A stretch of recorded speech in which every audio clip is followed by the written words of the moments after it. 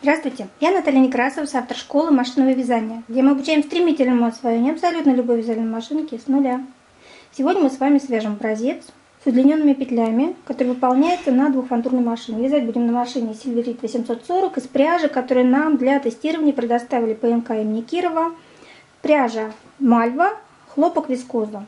Вяжется легко, без проблем, выглядит очень эффектно, красиво. И вы сами видите, насколько аккуратно получается вязка. Связана на средней плотности, на пятерке. Особенность узора в том, что он одинаково красиво смотрится и с лица, и с изнанки. То есть эффектный образец. Сейчас а, я вам расскажу, как его вязать. Если вы будете вязать его на одной фантуре, можно удлиненные петли выполнять немножко другим способом, просто провязывая ряды вручную. Но если у вас есть две фантуры, сейчас мы с вами быстренько провяжем этот образец.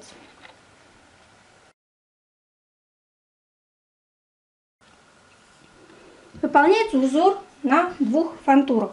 Я провязала 4 ряда, раппорт 5 рядов.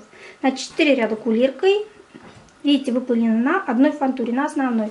Плечо, которое мы выполняем, является плечом основной фантуры. Для того, чтобы провязать ряд с увеличенными петлями, мне нужно подключить вторую фантуру, это значит поменять плечо. Вынимаю из нитеводителя нить.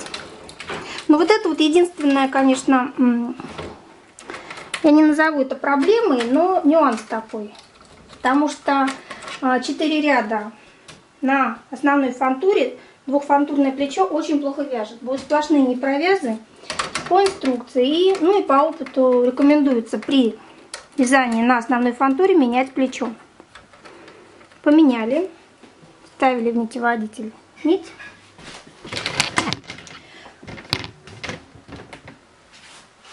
Поднимаем переднюю фантуру, подключаем.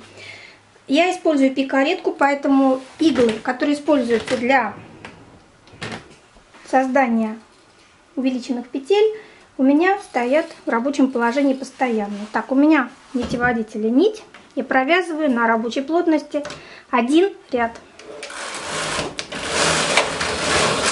На двух фантурах. У меня получилось с одной стороны провязанные петли, с другой просто накиды на каждую иглу. Но мне нужен только один ряд для того, чтобы увеличить петли на основной фантуре. Поэтому вот эти петли я должна сбросить. Здесь есть два варианта. Я могу использовать пикаретку, если она у вас есть. Могу вручную. Пикареткой. Это значит мы... Сейчас я ее надену, покажу. Если вручную у вас нет пикаретки, просто поднимаете часть игл и опускаете их. Все, сбросили. Это если у вас нету э, устройства. Но при этом учтите, что вам каждый раз придется контролировать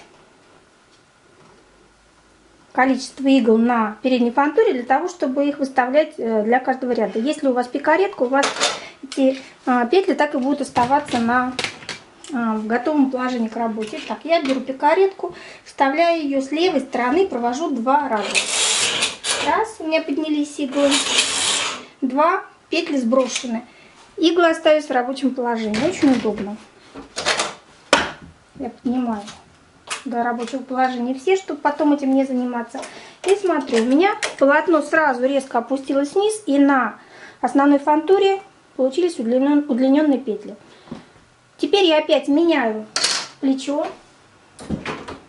опускаю фантуру, потому что а, на основной а, приподнятой передней фантуре вязать однофантурным плечом не получится. Надо обязательно его опускать. Ставлю плечо основную фантуру. Вставляю в нитеводитель нить. Проверяю, что не зацепила никуда. И провязываю 4 ряда.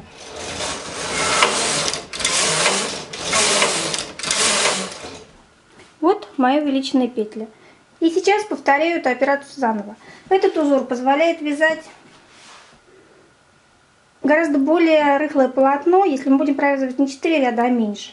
В случае, если пару рядов провязываем, потом идем, делаем увеличенные петли, а, пробуйте, может быть ваша машина не будет безобразничать, и вы сможете провязать, не меняя плечо на двухфантурном плече. Потому что чем дольше мы вяжем на двухфантурном плече, тем больше вероятности не провязов. Там нет уплотнения при, не при, нет прижимного механизма для того, чтобы прижать полотно к фантуре, поэтому петли вместе с полотном вот так вот от, отъезжают от фантуры и не провязываются. Вот в чем проблема.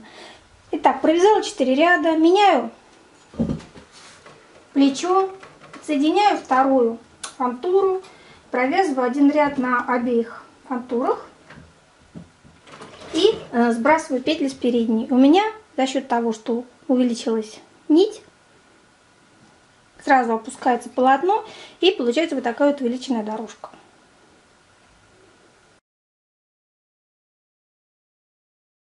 Если вам понравилось, нажмите нравится, поделитесь с друзьями, а также подпишитесь на мой канал, чтобы быть в курсе всех обновлений. И до встречи на нашем сайте Изба Вязания, где мы обучаем стремительному освоению абсолютно любой вязальной машинки с нуля. И обязательно заходите в магазин Невская рукодельница, который занимается продажей хлопковой вязальной пряжи производства ПНК имени Кирова. Там вы найдете огромный выбор хлопковых вязальных ниток любой цветовой палитры. Ваша Наталья Некрасова.